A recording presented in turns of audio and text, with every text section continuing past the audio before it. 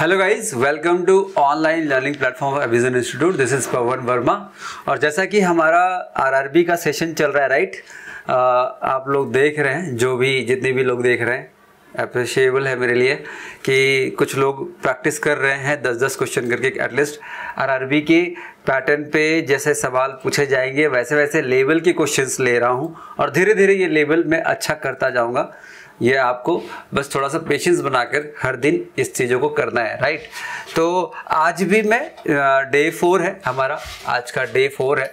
Day four के ऊपर मतलब इस पर भी दस सवाल मैं डिस्कस करूँगा और सवाल डिस्कस करूँगा जल्दी जल्दी, क्योंकि ज़्यादा लेंदी वीडियो बनने पे क्या होता है कि बहुत सारे लोग बोले कि, सर, एक घंटे का वीडियो कैसे देखेंगे? बोरिंग हो जाता है। भाई बोर हो जाते हो तुम जल्दी। तो ठीक है, मैं कोशिश करूँगा जितना जल्दी हो सके उतना जल्दी डिस्कस करने की दस क्वेश्चन को। और ये पीडीएफ आपको पहले ही मिल चुका है। आई होप सो आपको नहीं मिला है तो देखिए, आप इस चैनल पे आपको डायरेक्टली मिलेगा। आपको मैं बता रहा हूँ टेलीग्राम चैनल है एविजन इंडिया करके आप अगर सर्च करेंगे ना एविजन इंडिया करके अगर आप सर्च करेंगे तो you will get Telegram channel तो वो चैनल लगभग सेवन एट हंड्रेड है। तो उस चैनल को ज्वाइन कीजिए और वहाँ पे आपको डेली की पीडीएफ फ़ाइल मिल जाया करेगी। ठीक है? तो ये टेलीग्राम चैनल हो गया। उसके बाद वैसे तो अगर वीडियो के डिस्क्रिप्शन पे आप देखेंगे तो डिस्क्रिप्शन में आपको मिल जाता है। राइट वीडियो के डिस्क्रिप्शन में लिंक रहता है। पहला लिंक जो होता है। तो वहाँ से आप डाउनलोड कर सकते हैं। वहाँ से आप वीडियो पीडीएफ फ़ाइल को डाउनलोड करके पहले सॉल्व करने की कोशिश करें। और सॉल्व करने के बाद अगर नहीं होती है तो आप फिर वीडियो को फॉलो कर सकते हैं। और वीडियो के डिस्क्रिप्शन में ही हर क्वेश्चन का टाइम स्टैम्प होता है। मान लीजिए कि आपको क्वेश्चन नंबर फोर में अगर डाउट है, या क्वेश्चन नंबर फोर नहीं बना तो वहाँ पे question number four time stamp दिया हुआ है। तो वहाँ पे आप उसको डायरेक्टली क्लिक करेंगे तो क्वेश्चन नंबर फोर पे पहुँच जाएँगे। ठीक है? तो इस तरीके से आप हमारे साथ कनेक्ट होइए और डेली प्रैक्टिस कीजिए। मैं मैं इस चीज़ की मतलब अच्छे से ये कह सकता हूँ कि अगर आपने सिलेबस पढ़ा हुआ है तो अच्छा रिवीजन हो जाएगा ये दस दस क्वेश्चन करके। अच्छे से पूरा सिलेबस को अगर पढ़ा हुआ है मतलब हर एक चैप्टर को अगर आपने पढ़ा है, अगर आपका सिलेबस कंप्लीट नहीं हुआ है तो जो जो चैप्टर आपने पढ़ा हुआ है, उस उस क्वेश्चन को आप अगर करेंगे तो आपको अलग अलग वेराइटीज़ देखने को मिलेगी। ठीक है? और ये हमारा इंस्टाग्राम हैंडल है Avision institute right at the rate Avision underscore institute तो आप इस इंस्टाग्राम हैंडल को भी फॉलो करें ताकि आपको कोई भी चेंजेस हो, कोई भी अपडेट हो, आपको इंस्टाग्राम के थ्रू मिल जाया करेगा। तो चलिए सेशन को स्टार्ट करते हैं। पहला क्वेश्चन आपके सामने है। क्वेश्चन हमने आपको ऑलरेडी दिया हुआ है। क्वेश्चन को पढ़ेंगे और सॉल्व करने की कोशिश करेंगे। डायरेक्टली करने की कोशिश करेंगे ये क्या हो रहा है और क्या करना है। ठीक है? तो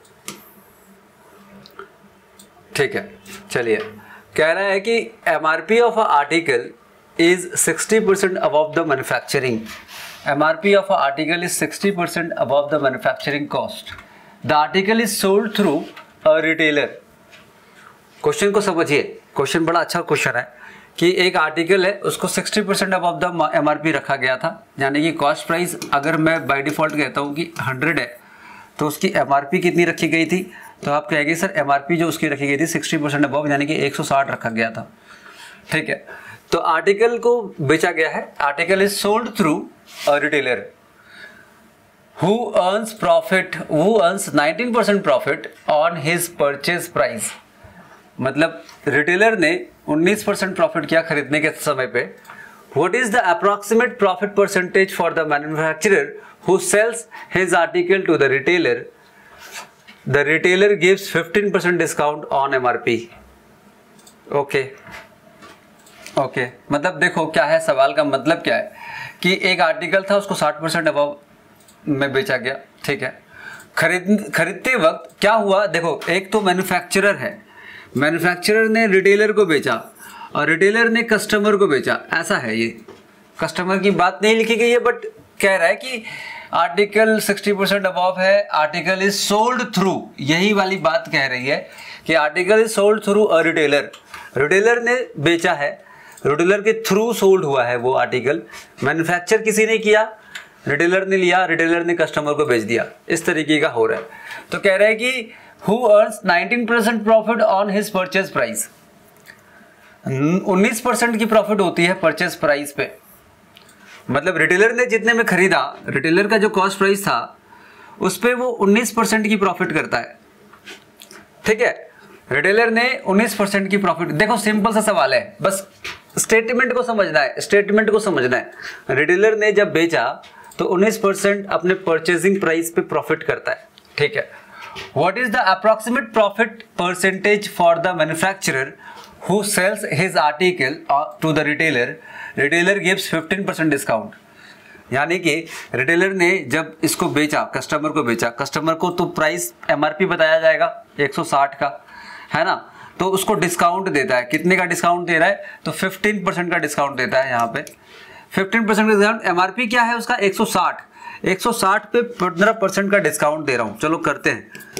15 परसेंट का डिस्काउंट दूँगा तो 10 परसेंट हो जाएगा 16 10 परसेंट हो जाएगा 16 और 5 परसेंट हो जाएगा 8 16 प्लस 8 मतलब 24 का डिस्काउंट तो कितने में बेचेगा?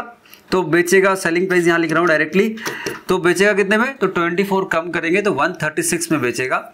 एंड 136 में जब बेच रहा था तो उसे 19 परसेंट की प्रॉफिट हो रही थी। रिटेलर की बात हो रही है, यहाँ तक यहाँ तक रिटेलर और कस्टमर की बात हो रही है। तो 136 में जब बेच रहा है तो 19 परसेंट की प्रॉफिट हो रहा है। तो मुझे पूछ रहा है कि जब जब मैन्युफैक्चरर ने रिटेलर को बेचा, जब मैन्युफैक्चरर ने रिटेलर को बेचा तो कितना प्रॉफिट कमाया था, ये पूछ रहा है। मैन्युफैक्चरर ने जब रिटेलर को बेचा था तो कितना प्रॉफिट हुआ था? यहाँ की प्रॉफिट बतानी है। यहाँ की प्रॉफिट कितनी है? ये बतानी है। यहाँ पे तो आपको पता चल गया कि रिटेलर ने कितना प्रॉफिट किया है रिटेलर ने 19 परसेंट प्रॉफिट किया है। इसका मतलब ये जो दिया हुआ है ना, ये 119 परसेंट के बराबर है। मतलब इसने खरीदा कितने में? तो इसका कॉस्ट प्राइस निकालनी पड़ेगी, खरीदा कितने में? तो हम कहते हैं कि चलो इसकी जो मैन्युफैक्चरर की जो प्रॉफिट है, उसको हम मान लेते हैं एक्स रुपीज़ तो खरीदा कितने में? हंड्रेड प्लस एक्स रुपीज़ में खरीदा था। और एक सौ हंड्रेड प्लस एक्स रुपीज़ में खरीदा था, उन्नीस परसेंट प्रॉफिट में बेचा यानी कि एक सौ छत्तीस में बेच दिया। देखो क्वेश्चन सॉल्व हो गया है। जो इस मेथड के थ्रू पढ़ा है, या फिर this is hundred percent this is hundred and nineteen percent इसी को इक्वेट कर देना है। आई होप कि आपको समझ आए कि मैंने क्या किया। तीन परसेंट इन्वॉल्व है। इसके पास जब ये सामान था, सौ का था, इसने एक्स रुपीज़ की प्रॉफिट करी और इसने इतने में बेच दिया, यानी कि इसका कॉस्ट प्राइस हो गया हंड्रेड प्लस एक्स और इसने प्रॉफिट कितना किया? उन्नीस परसेंट।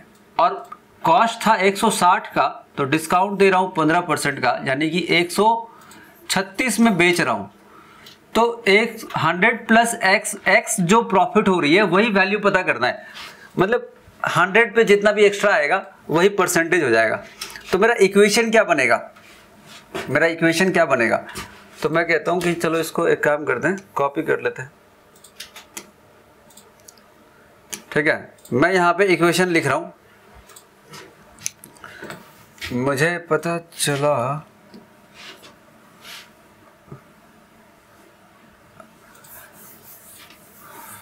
बात को समझो। मैंने ये बात को रखा है, ठीक है?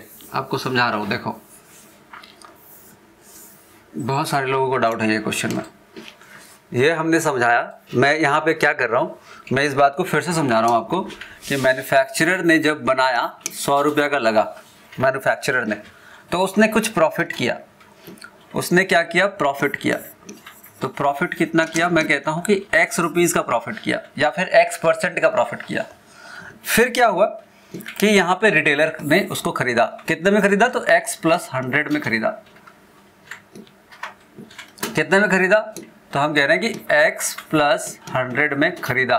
तो ये उसकी क्या हो जाएगी? ये उसकी हो जाएगी कॉस्ट प्राइस ये प्रॉफिट हो गया मैन्युफैक्चरर का, ये कॉस्ट प्राइस हो गया रिटेलर का. रिटेलर अब क्या कह रहा है कि retailer earns who earns 19 percent profit ठीक है? ऑन हिज परचेज प्राइस तो इसने 19 परसेंट का प्रॉफिट करेगा। तो जब बेचेगा जब बेचेगा सेलिंग प्राइस जब होगी तो वो होगी 119 percent of this one 119 percent of what 100 plus X यही बात मैंने समझाया है।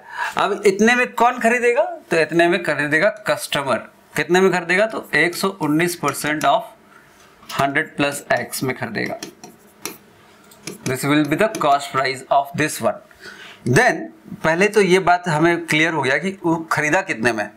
तो यार उसकी एमआरपी जो रखी गई थी ना एमआरपी रखी गई थी 160 यहाँ पे ये बात लिखा गया है कि 60 percent above the cost price सौ रुपये का था 160 रखा गया। तो 60 percent above the cost price और रिटेलर ने रिटेलर ने गिव्स अ डिस्काउंट यहाँ पे लिखा गया है रिटेलर गिव्स 15 परसेंट डिस्काउंट तो 15 परसेंट का डिस्काउंट यहाँ पे वो दे रहा है। तो 15 परसेंट का डिस्काउंट अगर देगा तो यानी कि चौबीस रुपये का डिस्काउंट दे रहा है। तो बेचा कितने में? यानी कि सेलिंग प्राइस मतलब उसकी, उसके, उसने खरीदा कितने में? तो कॉस्ट प्राइस उसका आया कितने में? 136 मतलब ये जो ये जो वैल्यू थी, वो 136 के बराबर थी। ये जो वैल्यू थी, वो 136 के बराबर थी। तो मेरा इक्वेशन बन गया कि 119 percent of 100 plus X is equal to one thirty six rupees X की वैल्यू निकाल लो आंसर हो जाएगा कि मैन्युफैक्चरर ने कितना परसेंट की प्रॉफिट किया या कितना प्रॉफिट किया, वही पूछा गया है। और यही बात को मैं आपको इस तरीके से बता रहा था। ठीक है, आपको इस तरह समझ आया, इस तरीके से करेंगे। तो इस इक्वेशन को सॉल्व करेंगे। अब इस इक्वेशन को सॉल्व करेंगे, जितना भी वैल्यू आएगा एक्स का, वो हमारा मतलब हंड्रेड से ऊपर या फिर देखें क्या आता है। तो मैं इसको सॉल्व करने की कोशिश करता हूँ। इसके लिए मैं एक और पेज ले लेता हूँ। इक्वेशन को सॉल्व करने के लिए मैं एक और पेज ले लेता हूँ लाइक यहाँ पे इक्वेशन को सॉल्व इक्वेशन मेरे पास है 119 percent of X plus hundred hundred hundred and nineteen percent of hundred and nineteen percent of a hundred plus X is equal to one thirty six इसको सॉल्व करेंगे। इसको solve करेंगे। तो मैं कह रहा हूँ कि हंड्रेड प्लस एक्स को ऐसे ही रख देते हैं और 136 को इधर ला के हंड्रेड बाई वन कर देते हैं डायरेक्टली और ठीक है। इसको मल्टीप्लाई किया तो one three six double zero हो जाता है। मैं डायरेक्टली लिख देता हूँ one three six double zero one three six double zero divided by one one nine कितनी बार में काटूँ मैं इसको? तो कह रहे एक बार में आ गया। तो 119 काट दिया तो 16 और एक 17 रह गया वन सेवन डबल ज़ीरो रह गया। फिर से 119 से काटूँगा तो एक बार में और जाएगा। तो बचेगा 51 यानी कि 510 रह गया। और मैं इसको फिर फोर टाइम्स में काटूँगा। फोर टाइम्स में काटूँगा। तो फोर टाइम्स में 400 और 76 476 आएगा। तो 24 four plus ten thirty four carry रह गया। 34 में एक ज़ीरो लगाऊँगा, यानी कि पॉइंट लगा रहा हूँ। और कितनी बार में कर दूँ? एक, दो, तीन। तीन बार में हो जाएगा? नहीं, दो बार में होगा। तो 14.2 मतलब मेरे पास आया 100 plus X is equal to one one four point two तो एक्स की वैल्यू आएगी 114.2 माइनस हंड्रेड यानी कि 14.2 देखो तो ऑप्शन में है या नहीं है। ऑप्शन में देखो क्या है। 14.2 है। 14.2 हमारे पास ऑप्शन ए बी हमारा आंसर हो गया। तो दिस वाज द आंसर इसको सॉल्व किया। नंबर कट नहीं रही थी। ये 119 सात के टेबल में या तेरह के टेबल में तो आता है। सात के टेबल में आता है। है ना? सत्रह बार में। लेकिन ये नहीं आ रहा था। तो कैलकुलेशन करना पड़ा मुझे। कैलकुलेशन करना पड़ा तो ये कैलकुलेशन है हमारा। मतलब कैलकुलेशन मतलब डिवीज़न है। 119 को टेबल को डायरेक्टली पढ़ रहा हूँ मैं। तो एक्स की वैल्यू 14.2 आई। तो हमारा आंसर हो गया 14.2 परसेंट मैन्युफैक्चरर ने प्रॉफिट की थी। मैन्युफैक्चरर ने कितने में बेचा था? तो manufacturer one one four point two में बेचा था। उसके 19 परसेंट प्रॉफिट करके 136 में बेचा था और 136 में 15 परसेंट का डिस्काउंट भी था। तो इस तरीके का ये सवाल था। आई होप कि आपको समझ आई होगी। नहीं आई है तो कमेंट करके बताएँ। मैं और भी इस तरीके का सवाल आपके सामने रखूँगा नेक्स्ट क्लासेस से। तो कमेंट करके ज़रूर बताएँ। अब आते हैं हम नेक्स्ट क्वेश्चन पे। बाकी क्वेश्चन आप ट्राई किए होंगे तो आपसे बना होगा। नहीं बना होगा तो मैं बनाता हूँ आपके साथ। ठीक है?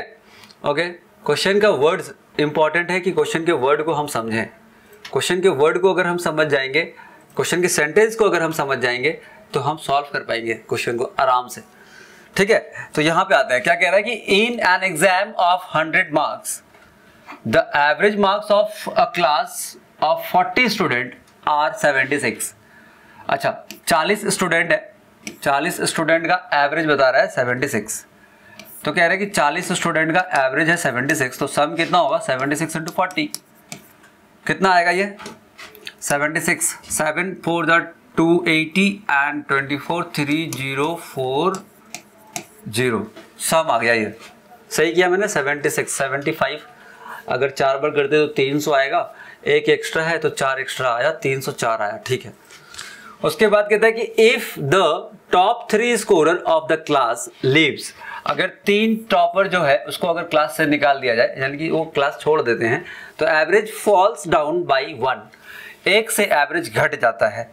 तो मैं कह रहा हूँ कि एक तीन लोगों को निकाल दूँगा मतलब कितना है? थर्टी सेवन लोगों को। टॉपर को निकाल दिया तीन लोगों को। तो एवरेज हो जाता है सेवेंटी फाइव तो भाई, मैं इनका सब निकालना चाहूँगा तो seventy five into thirty seven जो भी वैल्यू आएगी। ठीक है।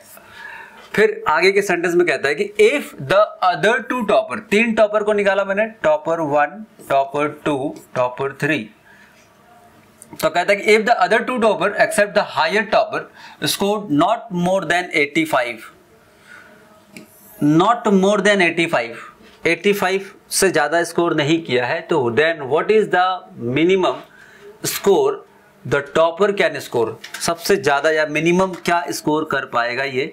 वो स्कोर बतानी है। वो स्कोर बतानी है। तो मैं कहता हूँ कि इसका भी सब निकाल ही लेते हैं। 37 एंड 75 का मल्टीप्लीकेशन करनी है। 37 and 37 five times that is 150 and 185 185 में 18 carry that is 210 49 259 269 269 plus 8 277 269 plus 8 yes 277 अच्छा डिफरेंस कितना आया? डिफरेंस कितना आएगा? डिफरेंस देखेंगे तो। डिफरेंस आ जाएगा यार 25 ऐड करेंगे 2800 हो जाएगा। 225 और 40 दो सौ पैंसठ। टू का डिफरेंस आया। तो 265 किसको आया? T1, T2, T3 यानी कि तीनों टॉपर का मिलाकर। अब हमसे पूछ क्या रहा है कह रहा है कि if the other two topper except the higher highest topper score not more than 85 अगर ये पचासी से ज़्यादा नहीं है तो what is the minimum score of the topper इसका मिनिमम स्कोर क्या हो सकता है? ऑप्शन दिया गया है। तो मैं कह रहा हूँ, पचासी से ज़्यादा नहीं है तो मैं इसका 85 85 दोनों का 85 85 मान लेता हूँ। हाँ ना? दो टॉपर का अगर मैं 85 85 मान लेता हूँ 85 और 85 तो भाई इसका कितना रहा होगा? ये बताइए। और तीनों मिला के कितना होगा? दो सौ पैंसठ two five eighty five eighty five मतलब हो गया 160 प्लस टेन 170 तो 265 में 170 सब्सट्रैक्ट कर दीजिए। तो 30 और पैंसठ, यानी कि 95 तो उसका स्कोर हो जाएगा 95 आंसर हो जाएगा 95 ऑप्शन सी हमारा आंसर हो जाएगा। ये तरीका ये था। मतलब क्वेश्चन को समझना था। क्वेश्चन में सेंटेंस को समझना था। इंपॉर्टेंट क्या था? कि स्टेटमेंट को समझना है। वरना तो ये क्वेश्चन तो एवरेज के ऊपर है। एवरेज के ऊपर है। बस हमें समझना क्या है? सेंटेंस क्या कह रहा है? क्या दिया गया है? क्या पूछ रहा है? इंग्लिश समझना है। बार बार ये कहता हूँ मैं, हर क्लास में ये कहता हूँ कि आपको क्वेश्चन के स्टेटमेंट को समझना पड़ेगा। You have to develop your understanding अगर आप वो नहीं करेंगे तो फिर आपको क्वेश्चन छोड़ना पड़ जाएगा।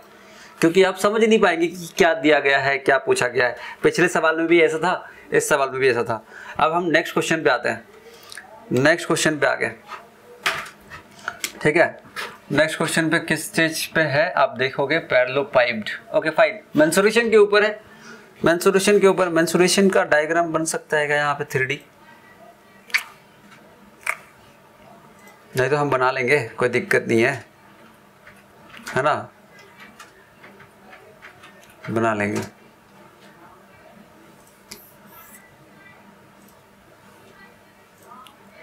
ओके चलो, क्या कह रहा है? क्वेश्चन को देखो। कह रहे कि पैरलो पाइप्ड है।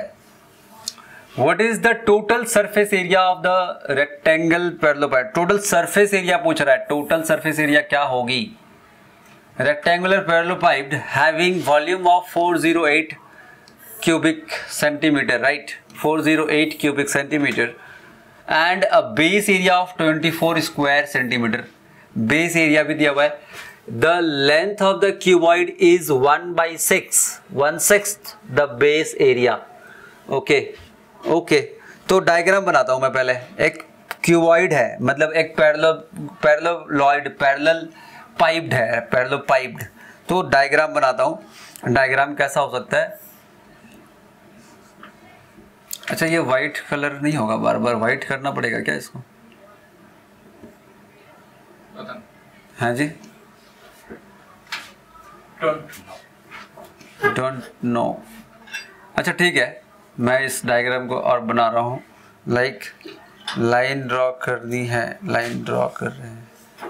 यहाँ से यहाँ तक लेते हैं। इसको भी वाइट कलर में कन्वर्ट कर लो। फिर यहाँ से यहाँ तक लेते हैं। अरे भाई, एक और। कॉपी करो। अंडू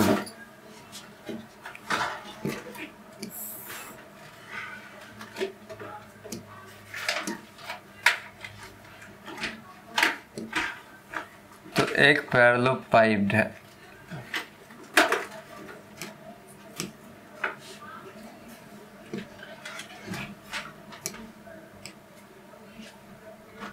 डिलीट करो। अच्छा इसको फ्री हैंड बनाते हैं। इस तरीके से है। फ्री हैंड बनाते हैं। इतना टाइम क्यों वेस्ट करना है? इस तरीके से है पैरलो पाइप्ड। पाइप तो ऐसे गोल होता है बट ये पैरलो पाइप्ड है मतलब रेक्टेंगुलर पाइप है ये। रेक्टेंगल पाइप्ड है राइट राइट रेक्टेंगल पाइप है। तो कह रहा है कि इसकी वॉल्यूम जो है वॉल्यूम कैसे निकालते हैं आप इसके? वॉल्यूम ऐसे ये लेंथ है, ये ब्रेथ है दिस इज़ द हाइट तो वॉल्यूम अगर हम निकालेंगे तो वॉल्यूम में लिखेंगे L into B into H तो volume is given volume is given that is 408 और क्या दिया हुआ है? And the base area base area मतलब बेस एरिया मतलब ये वाला एरिया बेस एरिया मतलब ये वाला एरिया है ना? Base area this is the base area base area कहो, चाहे टॉप एरिया कह सकते हो, ऊपर वाला एरिया है ना? देख सकते बेस एरिया कह रहा है मतलब ये वाला एरिया ठीक है? तो अगर मैं बोलूँ तो बेस एरिया इज़ 24 तो बेस एरिया कह रहा है कि ये है 24 स्क्वायर सेंटीमीटर यानी कि ये बीच, नीचे वाला एरिया कैसे निकाला गया होगा? एल इंटू बी करके. यानी कि L into B is equal to twenty four given है. तो L into B twenty four given है. तो एच की वैल्यू निकाल सकते हैं क्या? मतलब एच की वैल्यू निकाल सकता है तो ट्वेंटी फोर से इसको डिवाइड कर दीजिए. तो एच की वैल्यू कितनी आ जाएगी? ट्वेंटी फोर से one time one sixty eight that is seven times H की वैल्यू आ गई सेवनटीन और क्या बताया? The length of the cuboid is one by six the base area base area मतलब 24 है। और उसका वन बाई सिक्स अगर करते हैं तो length of the cuboid becomes four और फोर में क्या मल्टीप्लाई करोगे? जो 24 आ जाएगा। तो कह रहे हैं कि फोर में सिक्स मल्टीप्लाई कर देंगे तो 24 आ जाएगा। तो बेस हो गया मतलब ब्रेथ हो गया सिक्स तो एल बी एच की वैल्यू पता चल गई। हमें पूछ रहा है what is the total surface area of the rectangle मतलब that parallelepiped parallelepiped की टोटल सरफेस एरिया बतानी है। मतलब सारे साइड्स का एरिया निकालो और ऐड कर दो। सारे साइड्स का एरिया निकालते हैं। तो मैं कह रहा हूँ कि नीचे का और ऊपर का एरिया तो पता ही है। ये 24 है। दिस इज़ 24 दिस इज़ 24 तो दिस इज़ 24 तो 24 24 कितना हो जाएगा? 24 24 हो गया, टॉप और बेस का हो गया 48 टॉप और बेस का हो गया 48 राइट 48 अच्छा ये ये साइड का कितना होगा? तो कह रहे सिक्स है, ये सिक्स है, ये सेवनटीन है तो seventeen and six times seventeen को six times L into B into H करें hundred and two seventeen six जा हंड्रेड एंड टू ये हंड्रेड एंड टू ये तो दो सौ चार हो गया ये। ठीक है? और फिर देखो, निकालने का तरीका मैं निकाल के आंसर तक पहुँचना है मुझे तो मैं बस आंसर तक पहुँच रहा हूँ। और फ्रंट और बैक की बात करें तो फ्रंट की बात करें तो ये फोर है। This is four and this is seventeen तो seventeen four the sixty eight sixty eight को टू टाइम्स करते हैं तो one twenty plus sixteen one thirty six तो टोटल ये हो गया। कितना हो जाएगा देखो, दस और आठ eight carry one eight, three three eight is the total surface area. Option में है three double eight, three double eight, option C हमारा आंसर हो जाता है। तो दिस इज़ योर आंसर मतलब मेंसुरेशन के ऊपर बेस्ड अगर क्वेश्चन आ गया तो ऐसे हम कर सकते हैं राइट मेंसुरेशन में क्या है ना कि आपको फॉर्मूला थोड़ा याद रहना चाहिए। कोई भी फॉर्मूला हो, जैसे कौन है या फिर सिलेंडर है या जो भी है स्पेयर है तो आपको वो फॉर्मूला याद होना चाहिए और आप कर लेंगे। ठीक है? तो ये हो गया हमारा question number three. Next question में आते हैं। नेक्स्ट क्वेश्चन में आते हैं। रासिड बोरोड किस पे है ये? सिंपल कंपाउंड के है। सिंपल सा ये भी हो सकता है। आप पढ़ेंगे और सॉल्व करेंगे। कॉन्सेप्ट बस क्लियर होना चाहिए। बार बार ये कह रहा हूँ कि कॉन्सेप्ट क्लियर होना चाहिए। कॉन्सेप्ट अगर क्लियर नहीं होगा तो नहीं कर पाएँगे हम। टाइम लग जाएगा हम। तो कह रहे हैं कि Rashid borrowed rupees fifteen thousand fifteen thousand at the rate of ten percent per annum. Ten percent per annum compounded interest compound interest के बेसिस पे compounded annually he paid a certain amount at the end of the first year यहाँ पे first year होना चाहिए first year ठीक है? Then he paid rupees twelve thousand one hundred at the end of the second year second year के end में कितना दिया? बारह हज़ार एक सौ रुपए to complete the discharge the loan पूरा लोन को खत्म करने के लिए उसने बारह हज़ार एक सौ रुपया सेकेंड ईयर के एंड में दिया। तो what amount did he repaid at the end of first year first year के एंड में कितना पैसा उसने दिया था? आपको ये बताना है। तो हम कह रहे हैं कि प्रिंसिपल कितना था? प्रिंसिपल की वैल्यू थी पंद्रह हज़ार। प्रिंसिपल की वैल्यू थी पंद्रह हज़ार। पंद्रह हज़ार पे पहले रेट ऑफ़ इंटरेस्ट कितना लगने वाला था? तो कहते हैं कि सर दस परसेंट लगने वाला था। Ten percent. तो पंद्रह हज़ार का दस परसेंट होता है पंद्रह सौ रुपए। यानी कि फ़र्स्ट ईयर पे, फ़र्स्ट ईयर में, फ़र्स्ट ईयर में टोटल अमाउंट कितना हुआ था? टोटल अमाउंट ये क्या हो रहा है? ग्लिच ओके टोटल हो रहा है sixteen thousand five hundred sixteen thousand five hundred सोलह हज़ार पाँच सौ रुपये टोटल वैल्यू उसको फ़र्स्ट ईयर में अमाउंट बन गया। अब यहाँ पे क्या होता है कि वो कुछ पैसा रिटर्न दे देता है मतलब कुछ पैसा पे कर देता है। यहाँ पे कुछ पैसा वो पे करता है, और वो कितना पे करता है नहीं पता तो कुछ पैसा पे कर दिया। ठीक है? पे करने के बाद जो वैल्यू बची, जो वैल्यू यहाँ पे बच गई लट से हम कहते हैं यहाँ पे, जो भी वैल्यू बची तो वो थी हंड्रेड परसेंट जो वैल्यू बची वो थी हंड्रेड परसेंट फिर क्या होगा? सेकेंड ईयर का सेकेंड ईयर का उस पर इंटरेस्ट लगाएगा। सेकेंड ईयर का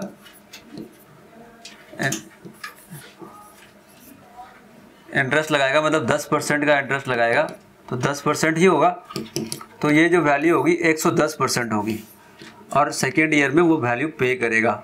तो हम कह रहे हैं कि कितना पे कर रहा है भाई सेकेंड ईयर में? सेकेंड ईयर में पे कर रहा था, यहाँ पे दिया भाई बारह हज़ार एक सौ। ट्वेल्व थाउज़ेंड वन हंड्रेड मतलब एक सौ दस परसेंट की वैल्यू है ये। तो क्या हम सौ परसेंट की वैल्यू निकाल सकते हैं? बिल्कुल निकाल सकते हैं। हम ग्यारह से काट दें। अच्छा परसेंटेज को कैलकुलेशन करना है ना। सिर्फ़ कैलकुलेशन की बात आ जाती है। तो परसेंटेज को जब हटाओगे तो दो ज़ीरो कट गई। ग्यारह से काटोगे तो ये ग्यारह हो जाएगा। है ना? और एक ज़ीरो मतलब हमारा ये वैल्यू आएगा इलेवन थाउज़ेंड इलेवन थाउज़ेंड में इलेवन हंड्रेड की वैल्यू मतलब इलेवन थाउज़ेंड में सौ परसेंट की वैल्यू आ गया. सौ परसेंट की वैल्यू निकालना है. एक परसेंट की वैल्यू आ गई एक सौ दस. सौ परसेंट की वैल्यू आएगी ग्यारह हज़ार. मतलब ग्यारह हज़ार रुपया उसका यहाँ पे वैल्यू बैलेंस बच रहा था. तो ग्यारह हज़ार बैलेंस बच रहा था. सोलह हज़ार पाँच सौ था. ग्यारह हज़ार बैलेंस बच रहा था. तो कितना पैसा दिया था वो फ़र्स्ट ईयर में? कितना पे किया था उसने फ़र्स्ट ईयर में? तो हम कहते हैं sixteen thousand five hundred minus eleven thousand यानी कि पाँच हज़ार पाँच सौ रुपया उसने पे किया था, पाँच हज़ार पाँच सौ रुपया। तो हमारा आंसर यही है कि उसने फ़र्स्ट ईयर में कितना पे किया था तो पाँच हज़ार पाँच सौ ऑप्शन बी हमारा आंसर हो जाता है। सिंपल सा मतलब तरीके से बताया मैंने, इसको फास्ट करना है, आपको फास्ट करना है। ठीक है, चलिए नेक्स्ट क्वेश्चन को करते हैं। देखिए किस बारे में है, किस बारे में दिया गया है।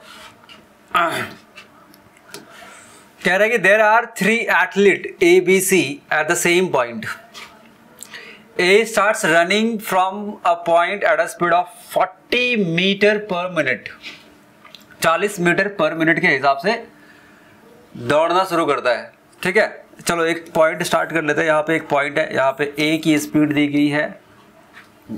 देखो फिर हो रहा है। ए की स्पीड दी गई है 40 मीटर पर मिनट देखो। हुआ, हट गया। देन बी की स्पीड दी गई है कितनी? आगे बढ़ते हैं कि after five minutes B start running after A with speed of 50 पाँच मिनट के बाद बी स्टार्ट करता है। बी स्टार्ट करता है। तो बी की स्पीड होती है 50 मीटर पर मिनट यहाँ पर डबल आ गया। ठीक है। और उसके बाद कह रहा है कि साइमल्टेनियसली मतलब उसी के साथ ही सी भी स्टार्ट करता है। सी की स्पीड होती है 60 मीटर पर मिनट कहाँ गया सिक्स यहाँ आ गया, देख पॉइंट 60 मीटर पर मिनट एक ट्रैक पे तीनों चलना स्टार्ट करता है। तो व्हाट इज़ द डिस्टेंस कह रहा है कि after C at sixty what distance has C covered in metre when he catches A C जब ए को कैच करेगा तो कितना डिस्टेंस चलना पड़ेगा सी को? और मेरे को बताओ कि ए कितना देर पहले चलना शुरू किया था? पाँच मिनट पहले। ये सवाल बता रहा है मुझे कि ये पाँच मिनट पहले चलना शुरू किया था राइट पाँच मिनट पहले। तो पाँच मिनट में ये कितना डिस्टेंस चल लेगा मतलब पाँच मिनट पर मिनट में चालीस मिनट। पर मिनट में चालीस मीटर एक मिनट में चालीस मीटर तो पाँच मिनट में कितना? तो पाँच मिनट में दो सौ मीटर चल लेगा वो। ठीक है? और इसी डायरेक्शन में, देखो बी की तो कोई बात ही नहीं है फिर तो। बी की कोई बात नहीं है। हमें पूछ रहा है कि सी कितने देर, कितने डिस्टेंस पे ए को पकड़ेगा। At what distance has C covered when he catches B तो सिंपल सा है सेम डायरेक्शन वाला रिलेटिव स्पीड वाला फॉर्मूला इस पे अप्लाई कर दीजिए सेम डायरेक्शन रिलेटिव स्पीड हमें पता है कि सेम डायरेक्शन में जब होता है ना तो एक की स्पीड 40 थी, एक की स्पीड 60 है राइट इसकी स्पीड 40 है, इसकी स्पीड 60 है। तो ये ज़्यादा है ज़्यादा है तभी ये कैच कर पाएगा। अगर इसकी स्पीड कम होती 40 से तो कभी कैच नहीं कर पाता, कभी उसको पकड़ नहीं पाता। राइट? right? तो ये 60 ज़्यादा है तभी कैच कर पाएगा। तो जो जो उसको पकड़ेगा जो उसको कैच करेगा या फिर आगे रे, रेस में उसको उसके साथ ओवरटेक करेगा तो कौन सी रिलेटिव स्पीड क्या होगी? तो मैं कहता हूँ कि डिस्टेंस जो स्पीड दी गई है ना आपस में सब्सट्रैक्ट होगी। सेम डायरेक्शन में डिस स्पीड सेम ये बातें ये ये कॉन्सेप्ट की बातें हैं कि सेम डायरेक्शन में क्या होता है? स्पीड में सब्सट्रैक्शन होती है। तो हम कह रहे हैं सिक्सटी माइनस फोर्टी तो रिलेटिव स्पीड हो जाएगी ट्वेंटी और देखो, यहाँ से देखो तो ए पहुँच चुका है 200 मीटर 200 मीटर में ए पहुँच चुका है। अब यहाँ से सी शुरू करेगा। सी जब यहाँ से शुरू करेगा तो सी को 200 मीटर का गैप खत्म करना है। तो 200 मीटर का गैप कब खत्म कर पाएगा? तो रिलेटिव स्पीड जो उसकी होगी, यानी कि 20 जो मीटर 20 मीटर पर मिनट है, इतने देर में, यानी कि 10 मिनट में 10 मिनट में सी 200 मीटर का गैप को कवर कर लेगा, यानी कि ए और सी एक साथ हो जाएँगे। 10 मिनट में। 10 मिनट में। तो बताओ कि 10 मिनट में सी को कितना चलना पड़ेगा? तो मैं कहता हूँ 60 मीटर पर मिनट था तो 10 मिनट में कितना चलना पड़ेगा भाई? 600 metre. Answer is 600 metre. Answer is 600 option D समझ में आया कि क्या हुआ? सेम डायरेक्शन में चल रहे हैं। सेम डायरेक्शन में चल रहे हैं। है ना? तो ये 200 मीटर आगे है और ये इधर अभी स्टार्ट कर रहा है।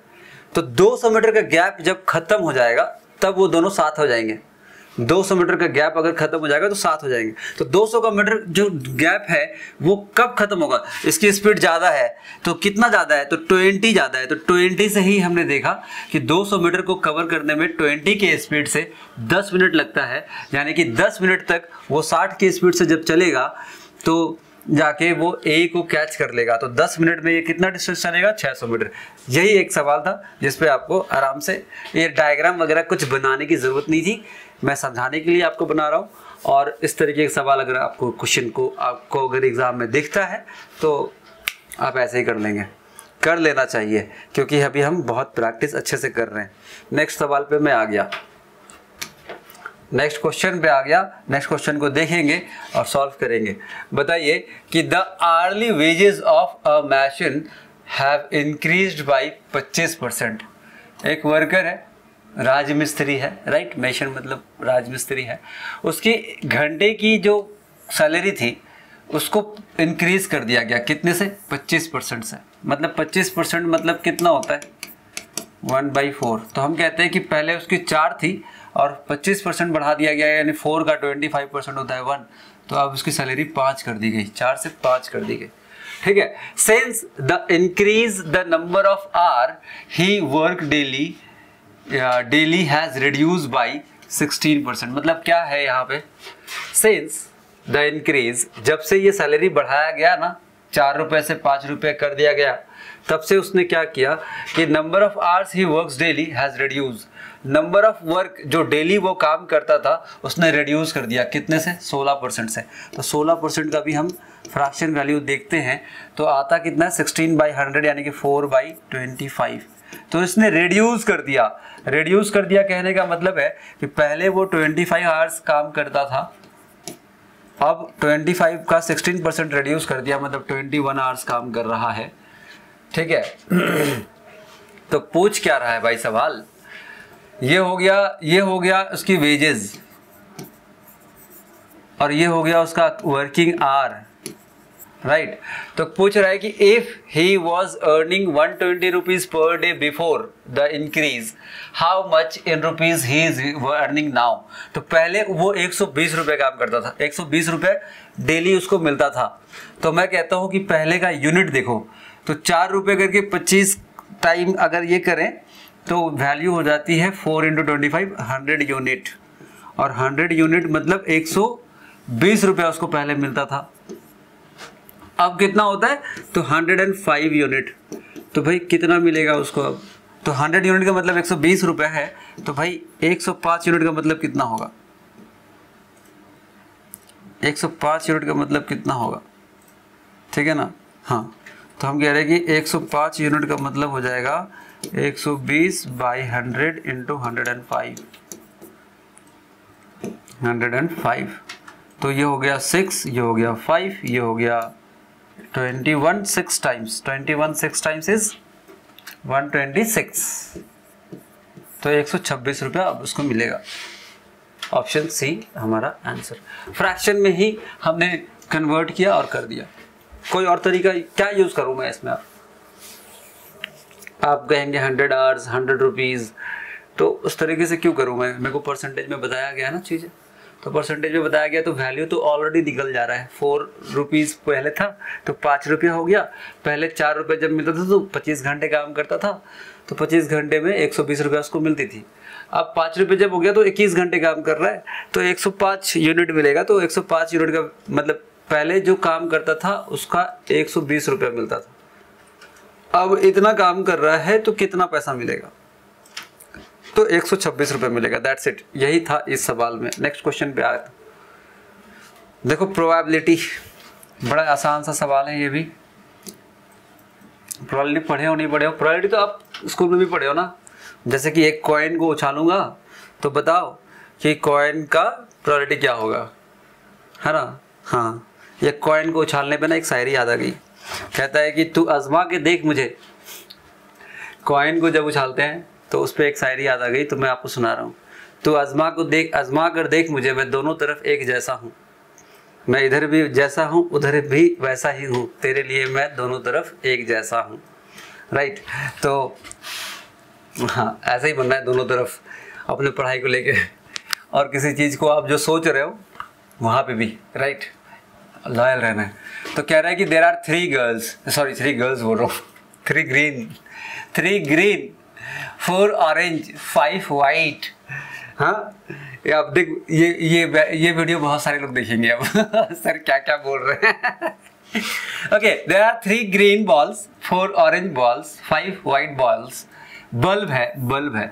In a bag if a bulb is picked up randomly अगर एक बल्ब निकाला जाए तो what is the probability that having either a green और और कह रहा है or a white and or दो सिचुएशन मैंने पढ़ाया था आपको क्लासेस में कि एक सिचुएशन होता है एंड और एक सिचुएशन होता है और तो एंड में मल्टीप्लाई करते हैं, और में एडिशन करते हैं. तो और कह रहा है कि और अ वाइट बॉल ठीक है? तो ठीक है। पहले बारी में क्या निकालना है? ग्रीन। तो ग्रीन है कितने? तो ग्रीन है तीन। और टोटल नंबर ऑफ़ बॉल कितना है? तो three plus four seven seven plus five is twelve तो ग्रीन आने की प्रोबेबिलिटी ये हो गई। प्रोबेबिलिटी का फॉर्मूला क्या कहता है? Probability is equal to number of what number of desired event desired event divided by total event total event तो वही कर रहा हूँ। नंबर ऑफ़ डिज़ायर तो पहले ग्रीन आने की प्रोबेबिलिटी कर रहा हूँ मैं। ग्रीन आएगा थ्री बाई ट्वेल्व और मतलब हो गया एडिशन मैंने ये बात लिखी है। और दूसरी क्या निकालनी है? वाइट बॉल निकालनी है। वाइट तो वाइट है मेरे पास पाँच। और total number of ball is twelve तो ये प्रोबेबिलिटी बस इसको सॉल्व करना था। This is three plus five is eight eight by twelve मतलब कितना हो गया भाई? टू बाई थ्री फोर के टेबल से काट दो। तो आंसर हो गया टू बाई थ्री आंसर हो गया ऑप्शन बी बस इसी में आपको एक नंबर मिल गई। कॉन्सेप्ट क्लियर होना चाहिए। बार बार कहता हूँ कि कॉन्सेप्ट क्लियर होना चाहिए। राइट राइट नेक्स्ट क्वेश्चन आपके सामने है। क्वेश्चन को पढ़ो। क्वेश्चन को देखकर घबरा मत जाओगी। यार क्वेश्चन इतना लंबा चौड़ा है। देख के घबरा जाते हैं। नहीं क्वेश्चन को पढ़ो। बार बार कहता हूँ कि पढ़ने की आदत बनाओ। पढ़ने की आदत बनाओ। क्या पता आप इसको कर पाए? हाँ? आप ये क्वेश्चन सॉल्व होने के लिए बना हुआ है आपके सामने। कुछ नहीं है, तीन चार लाइन में है तो क्या हो गया? क्वेश्चन सॉल्व होने के लिए बना हुआ है। किसके ऊपर है? देखो तो कह रहा है कि three men Ashok Bindusar and Chanakya A B C short में पढ़ो। A B C invested rupees eleven thousand twelve thousand and seventeen thousand partnership के ऊपर है। पार्टनरशिप फॉर अ ईयर अच्छा तो ए बी सी का इन्वेस्टमेंट लिख लेता हूँ। ए बी सी पूरा नाम लिखना भी नहीं है। तो यहाँ पे तीन तीन ज़ीरो कॉमन कट रहा है ना, काट दो क्वेश्चन में ही काट दो। मनी मन काट दो। तो यहाँ हो गया ग्यारह। यहाँ हो गया बारह और यहाँ हो गया सत्रह। ठीक है? फिर कह रहा है in partnership for a year after a year they got a return of one lakh rupees एक साल के बाद एक लाख की प्रॉफिट होती है। If they decided to divide the amount on the basis of their share of investment, then what is the amount of Chanakya यानी कि C receive more than A? C, A से कितना ज़्यादा मिलेगा? ये बता रहा है। अच्छा प्रॉफिट कितना हो रहा है भाई? प्रॉफिट हो रहा है एक लाख। लिखने की ज़रूरत नहीं है। ये दस हज़ार लिखा है, एक लाख। ठीक है? तो मेरे को बताना है कि सी को ए से कितना ज़्यादा मिलेगा। तो मैं कहता हूँ कि सी का ना सेवनटीन है और ए का इलेवन है। तो डिफरेंस कितना है? छह यूनिट का। तो मैं कह रहा हूँ छह यूनिट सम ऑफ़ दस रेशियो कर दो। एक साल की ही बात कर रहा। Eleven plus twelve twenty three twenty three plus seven is thirty plus one ten is forty forty से कर दो फोर्टी से। तो 40 से एक ज़ीरो काट देता हूँ। चार से मैंने इसको 25 कर दिया 100 को। 25 के साथ दो ज़ीरो है और छः है। तो 25 के साथ छः को मल्टीप्लाई करेंगे तो डेढ़ सौ आता है और दो ज़ीरो यहाँ का हो गया, यानी कि पंद्रह हज़ार। आंसर इज़ फिफ्टीन थाउज़ेंड बस। सिंपल सा सवाल था ये कि सी को कितना ज़्यादा मिलेगा? चाणक्य को ए से अशोका से कितना ज़्यादा मिलेगा? दैट्स इट यही करना था। हो गया question number eight solve coming to question number nine question number nine किसके ऊपर बेस्ड है, देखेंगे आप और सॉल्व करने की कोशिश करेंगे। ठीक है? तो कह रहा है question number nine a boat take six hours to cover hundred kilometre downstream and thirty kilometre upstream अच्छा डाउन स्ट्रीम जा रहा है अप स्ट्रीम जा रहा है। तो मैं कह रहा हूँ हंड्रेड किलोमीटर डाउन स्ट्रीम जाऊँगा। डाउन स्ट्रीम में क्या होता है? डाउन स्ट्रीम में बोट की स्पीड प्लस वाटर की स्पीड होती है। अप स्ट्रीम में होता है बोट की स्पीड माइनस वाटर की स्पीड तो डाउन स्ट्रीम को डी पकड़ते हैं अप स्ट्रीम को यू पकड़ते हैं। तो हम कह रहे हैं hundred divided by down stream की स्पीड है D plus thirty kilometre upstream जा रहा हूँ, अपस्ट्रीम यू, और टोटल टाइम लगता है छः यानी कि क्या लिखा मैंने? मैंने इक्वेशन लिखा है distance by speed is equal to time मतलब डाउन स्ट्रीम की डिस्टेंस बाय स्पीड अपस्ट्रीम की distance by speed is equal to total time ऐसे लिखा मैंने इक्वेशन को। तो ये हो गया यहाँ तक। उसके बाद कह रहा है if boat goes 75 kilometre downstream and return back to the starting point in eight hours then what is the speed of boat in still water and the rate of the stream in kilometre per hour respectively simple simple बस question का equation जल्दी जल्दी solve करना है। 75 kilometre down stream जाऊँगा 75 kilometre upstream जाऊँगा total time बता रहा है आठ घंटे। तो दो इक्वेशन बन गया equation one and equation two अब इसको सॉल्व कर दो फटाफट। डी और यू की वैल्यू निकालोगे बोट निकल जाएगा, ये निकल जाएगा। क्या है, इसमें कुछ है नहीं सॉल्व करने के लिए? मतलब इस इक्वेशन को सॉल्व कर देते हैं। तो ये हम कह रहे हैं कि हंड्रेड यू मैं इसको आगे लिख रहा हूँ। Hundred U and thirty D thirty D and is equal to six D U ये हो गया पहला। ठीक है? इसकी बात करता हूँ। तो ये होगा 75 यू और 75 डी और ये हो जाएगा 8 डी यू। ठीक है? तो बस इस दोनों इक्वेशन को सॉल्व करो, डी यू की वैल्यू निकाल लो, डी यू की वैल्यू निकालने के बाद boat and and boat and water की स्पीड निकालेंगे। अच्छा क्या करूँ मैं जो 75 और ये कट जाए? तो मैं एक काम कर रहा हूँ 75 को मल्टीप्लाई करना इजी है। कर देते हैं 75 और 100 ओके फाइन देखो मैं क्या कर रहा हूँ। इस इक्वेशन को और इस इक्वेशन को बराबर करना है, कोई एक कटना है तो मैं कहता हूँ इसको 75 से मल्टीप्लाई कर देता हूँ और इसको 100 से मल्टीप्लाई कर देता हूँ। तो ये दोनों कट जाएगा। या माइनस है तो 75 थ्री टाइम्स पचहत्तर का तीन बार 225 यानी कि two two five zero D पचहत्तर का छः बार तो 450 और ज़ीरो।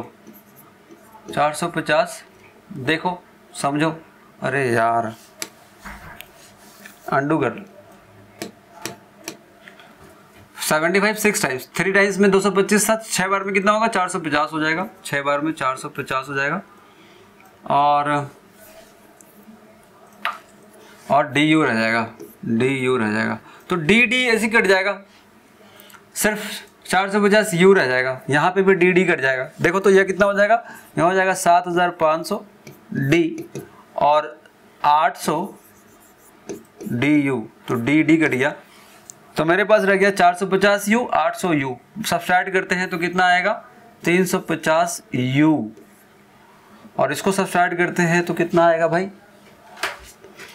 पाँच हज़ार दो सौ पचास पाँच हज़ार दो सौ दो सौ पचास। तो यू की वैल्यू कितनी? पैंतीस सौ से काट दो। यानी कि five two five zero divided by three five zero U की वैल्यू आ जाएगी। ज़ीरो ज़ीरो काट दिया। पैंतीस से कटेगी, नहीं कटेगी? पैंतीस से एक बार काट दिया तो बच्चा मेरे पास 175 यानी कि फाइव टाइम्स यू की वैल्यू 15 आ गई। यू की वैल्यू 15 आ गई। यू की वैल्यू कितना आया? 15 आया। यू की वैल्यू को 15 रख दो यहाँ पे। तो ये टू टाइम्स टू उधर जाएगा तो फोर हो जाएगा। फोर इधर आएगा तो पच्चीस। डी की वैल्यू पच्चीस। देखो, टू टू आया, टू उधर जाएगा तो ये फोर बनेगा। तो डी को उधर करो, फोर को इधर लाओ। तो फोर से काटोगे तो डी की वैल्यू 25 u की वैल्यू 15 यानी कि downstream speed 25 upstream speed 15 boat की स्पीड निकालनी है। बोट की स्पीड निकालनी है। तो डाउन स्ट्रीम स्पीड 25 एंड 15 आया।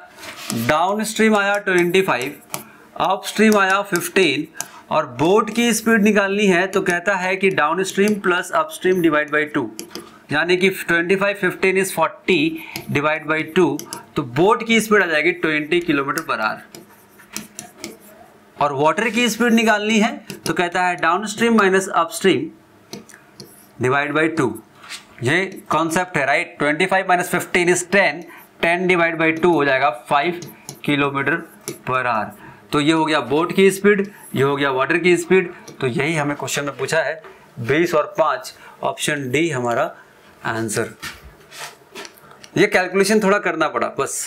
कैलकुलेशन कहीं कहीं तो करना पड़ेगा ना यार। और इसका भी कोई शॉर्ट ट्रिक है मैं बता दूँगा थोड़ा सा क्लिक हम्म, नहीं कर रहा मैं बता दूँगा आपको। नेक्स्ट किसी वीडियो में क्वेश्चन नंबर नाइन को हम फिर से डिस्कस कर लेंगे जहाँ पे शॉर्टकट तरीके से हम डिस्कस कर पाए। नेक्स्ट क्वेश्चन पे आते हैं। लास्ट क्वेश्चन है आज का ये। आई होप कि आपको ये सेशन मज़ा आया होगा। कुछ जानने को ज़रूर मिला होगा और आपके प्रिपरेशन में ये वैल्यू ऐड किया होगा राइट आ रहे क्वेश्चन नंबर टेन पे। कह रहा है कि A and B are two alloy which were made by mixing aluminium and silver aluminium and silver को मिलाकर बनता है ए और बी ए में है five is to seven nine is to eleven यानी कि ए में एल्यूमिनियम एंड सिल्वर, यानी कि A G aluminium chemical name is A L and A G is silver name, silver का केमिकल नेम है five is to seven इस तरीके से है। या फिर इसको ऐसे लिखते हैं, देखो। समझा रहा हूँ मैं, आपको इस तरह बनाना नहीं है। मैं कह रहा हूँ कि एलमिनियम है और क्या है? सिल्वर है। यहाँ पे फाइव इज़ टू सेवन के हिसाब से है। फिर दूसरा कंटेनर है मेरे पास। यहाँ भी एलमिनियम है और यहाँ भी सिल्वर है। रेशियो है नाइन इज़ टू इलेवन कह रहे कि if thirty gram of alloy A ये ए था, ये बी था तो इसमें से कह रहा है थर्टी ग्राम ले लेता हूँ। और फिर कह रहा है fifty gram of B fifty gram of B इसमें से पचास ग्राम ले लेता हूँ। Are melted and mix to form another alloy C इसको मिला दिया गया सी बना दिया गया। What is the ratio of aluminium and silver in the new alloy C ratio of aluminium and silver बतानी है। यहाँ पे एलमोनियम और सिल्वर कितनी कितनी होगी? एलमोनियम और सिल्वर की रेशियो क्या होगी? ये बतानी है। तो कर लेते हैं भाई। That is three and five इसका रेशियो अगर देखा जाए तो मतलब जो मिलाया गया है थ्री पार्ट यहाँ से फाइव पार्ट यहाँ से लिया गया है। Thirty gram and fifty gram equation भी लिख सकते हो। आप इक्वेशन लिख कर या फिर आप एलिगेशन मिक्सचर के थ्रू भी बना सकते हो। तो मैं दोनों तरीका दिखाता हूँ। पहले इक्वेशन लिखते हैं। हम कह रहे हैं कि एलुमिनियम की बात करते हैं। एलुमिनियम है कितना? Five by total is twelve. Five by twelve of thirty gram. Thirty gram का फाइव बाई ट्वेल्व ये है। यहाँ पे एलुमिनियम कितना है? तो यहाँ पे एलुमिनियम है नाइन बाई ट्वेंटी। ऐड करते हैं। Nine by twenty of what of fifty gram. ये हो गया एलुमिनियम अच्छा अब हम बात करते हैं किसकी? कॉपर कॉपर नहीं सिल्वर की बात करते हैं। तो सिल्वर है seven by twelve seven by twelve of thirty plus यहाँ पे है eleven by twenty of fifty बस यही रेशियो बतानी है आपको। यही रेशियो बतानी है आपको। कैलकुलेशन कर लो, जो करना है कर लो। कैलकुलेशन कर लेते हैं हम। हम कह रहे हैं कि सिक्स के टेबल में फाइव टाइम्स सिक्स के टेबल में टू टाइम्स टू आ गया। तो टू यहाँ भी है टू यहाँ भी है तो this is twenty five plus five twenty five plus forty five ये हो गया ट्वेंटी फाइव ये हो गया कितना? Forty five twenty five forty five कितना हो गया? Seventy by two seventy by two divided by this is also six के टेबल में फाइव टाइम्स सिक्स के टेबल में two times zero zero cut thirty five and fifty five that is sixty plus thirty is ninety by two two two cut गया zero zero cut गया. Seven is to nine हमारा answer हो गया. है क्या? Option A हमारा answer हो गया.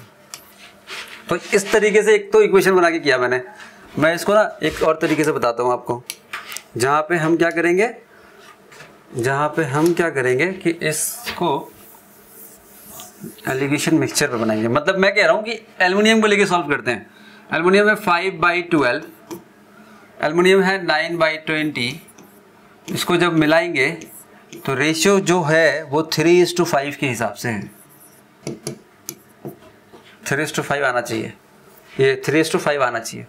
तो मैं कह रहा हूँ थ्री टू फाइव आना चाहिए, ठीक है? इन दोनों रेशियो में देखो कौन सी रेशियो बड़ी, मेरे को कौन सी फ्रैक्शन बड़ी है? तो ट्वेंटी फाइव जब हंड्रेड सेवेंटी नाइन जब वन फिफ्टी थ्री तो ये बड़ी है। तो इसके साथ ये यहाँ पे मैं लिख लेता हूँ, यहाँ पे मैं लिख लेता हूँ एक्स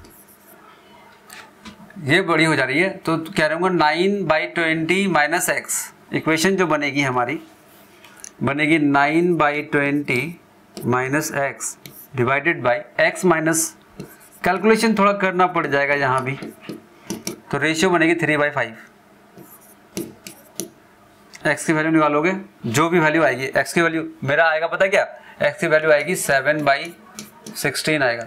नहीं सेवन बाई सिक्सटीन तो सेवन हो जाएगा एल्युमिनियम की वैल्यू और सिक्सटीन में सेवन सब्सट्रैक्ट करोगे तो नाइन हो जाएगा इसकी value seven is to nine आया था ना अभी?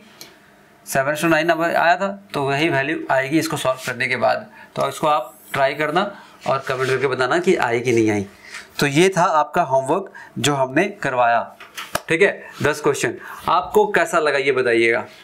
क्वेश्चन समझ आई नहीं आई क्वेश्चन का लेवल समझ आया नहीं आया, ये समझ समझना है और इस तरह से मैं डेली करने की कोशिश करूँगा। ठीक है? और वीक में एक दिन शायद ऑफ़ रह सकती है। हम्म। जिस दिन शायद वीडियो ना आए, जिस दिन आपको शायद हम होमवर्क लेकिन मिलेगी। आपको वो पी फ़ाइल ज़रूर मिलेगी। आपको ट्राई कर दें। वीडियो सोल्यूशन में हो सकता है एक दिन गैप हो जाए। तो देखेंगे किस दिन होगा। वैसे आपको एक बात और बताना चाहता हूँ कि जो वीडियो होगी, वो आपको डेली रात को आठ बजे आपको मिल जाया करेगा। राइट चैनल को सब्सक्राइब कर लीजिए। नोटिफिकेशन को ऑन कर लीजिए ताकि आपको जब वीडियो रिलीज़ हो तो आपको डायरेक्टली नोटिफिकेशन मिल जाए। तो आई होप कि आपको ये सेशन अच्छा लगा हो। Thank you for giving a die फिर मिलते हैं हम लोग नेक्स्ट क्लास में. तब तक के लिए ख्याल रखें. धन्यवाद. Thank you